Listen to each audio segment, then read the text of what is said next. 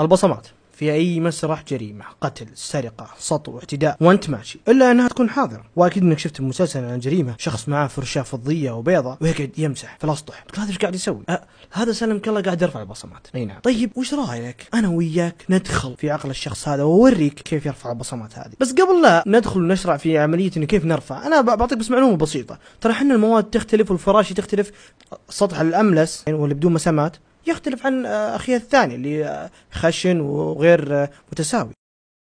باستخدام الفرشة البيضاء ناخذ جزء كبير من البودرة المستخدمة في رفع البصمات ثم ننفض الزائد منها. بعدها نستخدم إضاءة على مستوى السطح عشان تساعدنا في كشف عن البصمات.